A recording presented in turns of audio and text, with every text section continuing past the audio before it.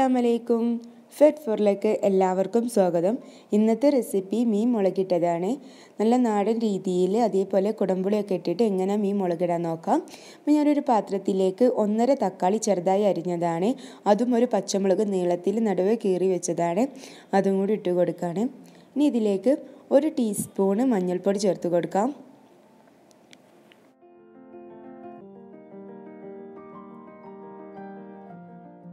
രണ്ട് table spoon മുളക് പൊടി ചേർത്ത് കൊടുക്കണം.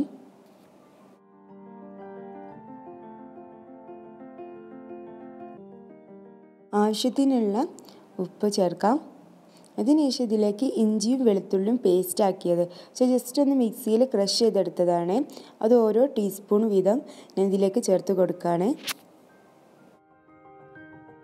എല്ലാം കൂടി നന്നായിട്ടൊന്ന് കൈകൊണ്ട് കൊഴിച്ചെടുക്കണം. അപ്പോൾ തക്കാളിയൊക്കെ ഒന്ന് കൈകൊണ്ട് തന്നെ നന്നായിട്ട് ഒടിച്ചെടുക്കുന്ന ലെവലിൽ ആക്കണം.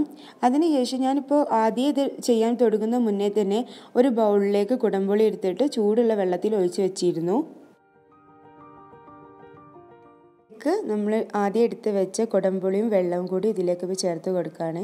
അപ്പോൾ കുറച്ചും കൂടി വെള്ളത്തിന്റെ ആവശ്യമുണ്ട്. അപ്പോൾ അതിനനുസരിച്ചിട്ട് കുറച്ചും കൂടി വെള്ളം ഇതിലേക്ക് ചേർത്ത് കൊടുക്കണം.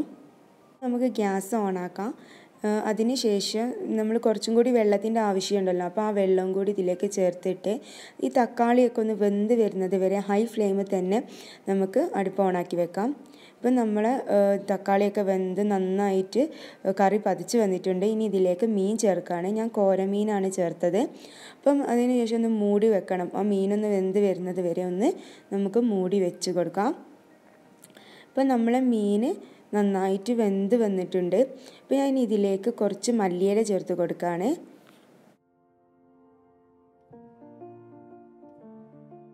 മല്ലിയില ചേർത്ത ശേഷം ഞാൻ ജസ്റ്റ് ഒന്ന് മൂടി വെച്ചിരുന്നു. ഇപ്പം നമ്മൾ കറി റെഡി ആയിട്ടുണ്ട്. ഇനി ഒരു ഫ്രൈങ് പാൻ അടുപ്പിൽ വെച്ചിട്ട് അതിലേക്ക് രണ്ട് ടേബിൾ സ്പൂണോളം വെളിച്ചെണ്ണ ചേർത്ത് കൊടുക്കണം. എന്നിട്ട് സാദാ സവാള ചെറുതായിട്ട് അരിഞ്ഞത് ഒരു പകുതി സവാള ചെറുതായി അരിഞ്ഞത് ഇതിലേക്ക് ചേർത്ത് കൊടുത്തിട്ട് ഒന്ന് ലൈറ്റ് ബ്രൗൺ നിറാവുന്നത് വരെ ഒന്ന് ഫ്രൈ ചെയ്തെടുക്കാം. നമ്മളെ സവാള ലൈറ്റ് ബ്രൗൺ നിറമായി വന്നിട്ടുണ്ട്. ഇനി ഇതിലേക്ക് ഒരു വറ്റൽമുളക് കൈകൊണ്ടൊന്ന് ജസ്റ്റ് മുറിച്ചിട്ട് ഇതിലേക്ക് ഇട്ട് കൊടുക്കാം. അതേപോലെ കറിവേപ്പിന്റെ ഇലയും ഇതിലേക്ക് ചേർക്കാം.